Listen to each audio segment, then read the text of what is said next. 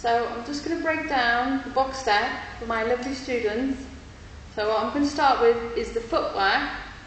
So we start with the left foot and we step left, turn in, step right, turn out, step left, turn in, step right, turn out, step left. Okay? We're going to lay that with the piston hip, with the hip hip. So we go left, right, left, right, and left. We're going to lay that again with the arm. So left, right, left, right, left. Okay? So we'll do that again, just a little bit faster. So left, right, left, right, left.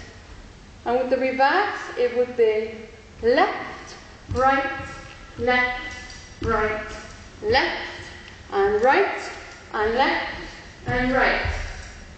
And face the back.